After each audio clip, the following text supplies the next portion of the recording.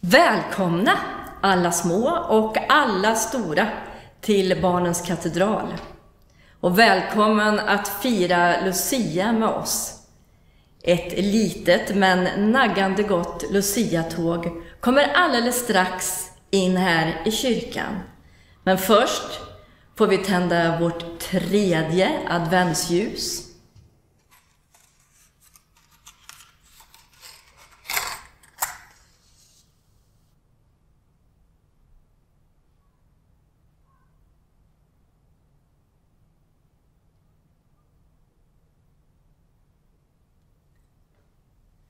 Och så får vi låta vår kyrkas klockor ringa in Lucia-högtiden i Jesu namn.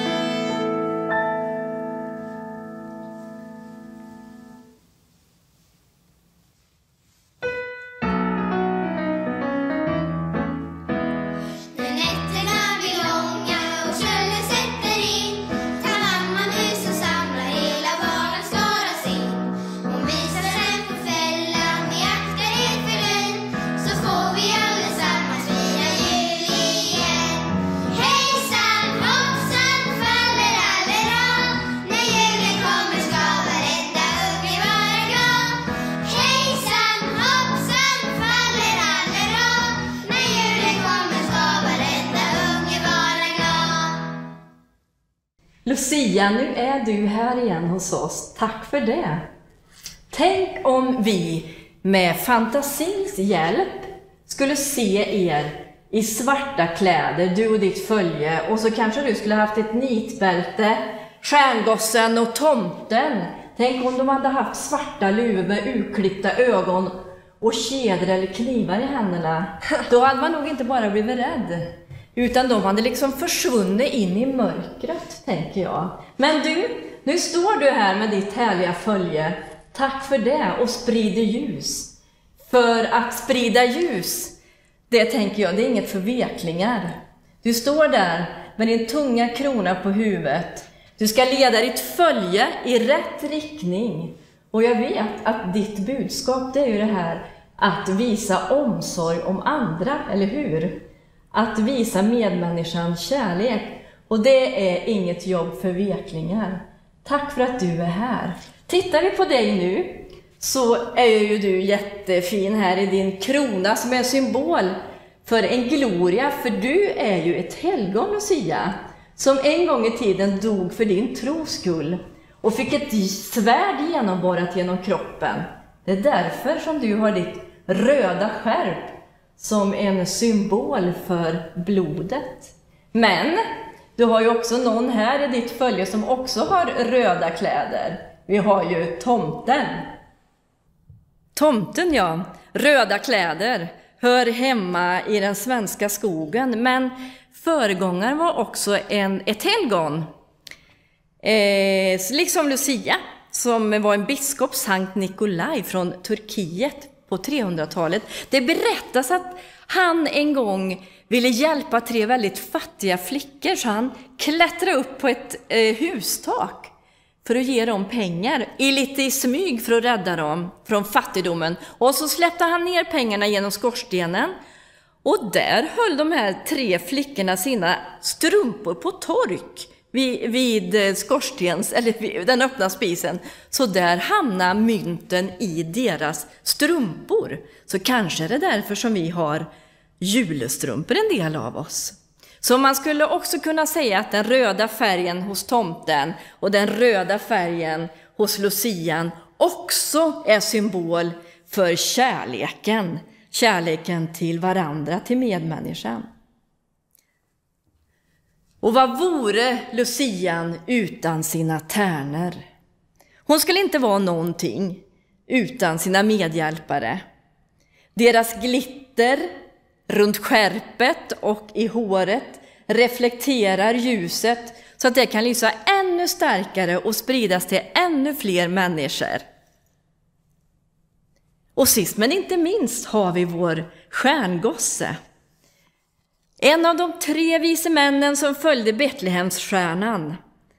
Stjärnan hjälper oss att blicka framåt, visa vägen. Och också stjärnan återspeglar ljuset från Lucians krona. Den gemensamma nämnaren för alla i tåget måste ändå vara ljuset i Lucia-kronan, i tärnornas händer, tomtens lykta och inte minst ljuset som strålar från stjärngossens stjärna. Låt oss be. Gud, vi ber i denna mörka tid. Hjälp oss att tillsammans med Lucia ge ljus åt dem som har det svårt. Vi ber även för alla lucior runt om i världen. Idag eh, som har ett stort jobb framför sig när de nu ska kämpa mot mörkret. Hjälp dem med vilja och styrka. Vi ber för de som är sjuka. Hjälp också deras familjer. Vi tackar dig för att du alltid lyssnar på våra böner. Du hjälper oss och finns alltid där vid vår sida. Vi tackar dig för allt du gör för oss. Amen.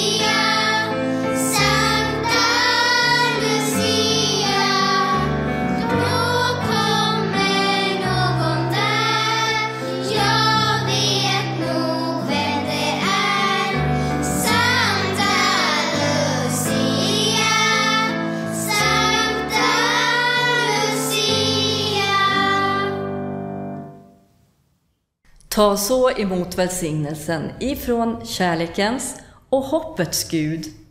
Herren välsigne dig och bevare dig. Herren låter sitt ansikte lysa över dig och vara dig nådig. Herren vände sitt ansikte till dig och give dig frid. I Faderns och Sonens och den heliga Andens namn. Amen.